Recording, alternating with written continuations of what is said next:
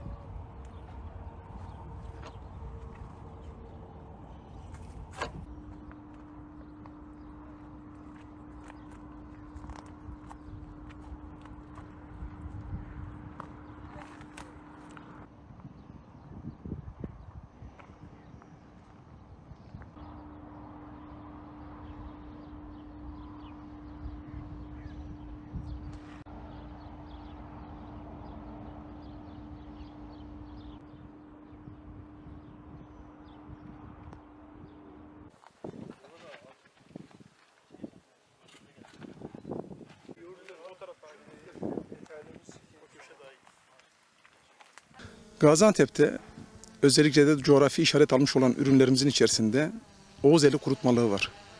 Oğuzeli kurutmalığını oluşturan birimlerden ise biber, dolmalık biber olarak geçer. Patlıcan, dolmalık patlıcan olarak, kabak yine dolmalık kabak olarak ve ayrıca da acurumuz var. Yine coğrafi işaret almış olan birkaç ürünümüz daha var. Birisi Nizip patlıcanıdır. Bir tanesi Antep haylan kabağı kurusudur. Birisi Antep dolmalık kurusudur. Bunların tamamı coğrafi işaret almış ve burada şehrimizi, ülkemizi çok iyi bir şekilde temsil eden ürünler. Bir de Allah'ın verdiği bir su var, güneş var, hava var. Şu anda da burada sahada birebir güneşin ve havanın etkisini görüyoruz. Yeşilden kırmızıya nasıl dönüldüğünü, bunların bu şekildeki kurutmalıkları nasıl elde edildiğini birebir görmüş oldunuz. Gaziantep ilinde yaklaşık 15 bin dönüm alanda patlıcan olarak, dolmalık patlıcan olarak şu anda ekiliş yapılmış ve yıllık verim olarak 45 bin ton civarında bir verimimiz var. Bununla birlikte acur olarak yaklaşık 6 bin dekar alanda ekiliş yapılmış, 15 bin ton civarında da acurumuz var. Kabak yaklaşık 2000 ton alan, şey 2000 dekar alanda yaklaşık 3000 ton civarında kabak alanımız var. Biberle ilgili yaklaşık yine 6000 dekar alanda 15 bin ton civarında bir verimimiz var. Biber dediğimizde de Gaziantep Türkiye'de ikinci sırada biber yetiştiricinde ve pul biberde de çok çok ön plandayız.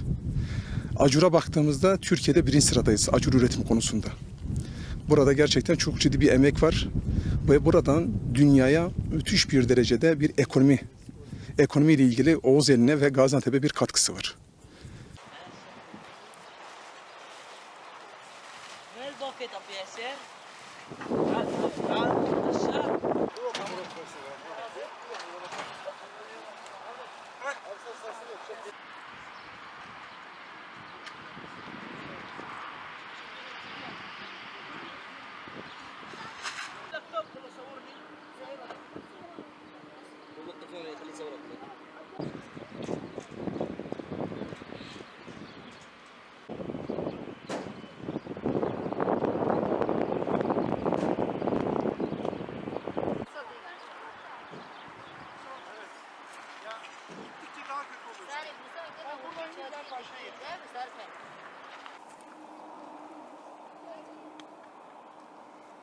Burada kabak, biber, patlıcan asımları yapıyoruz her yıl, her sezon, her yaz.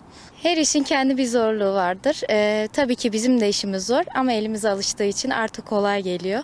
Biber asımlarımız sabah erkenden başlıyor geceye kadar.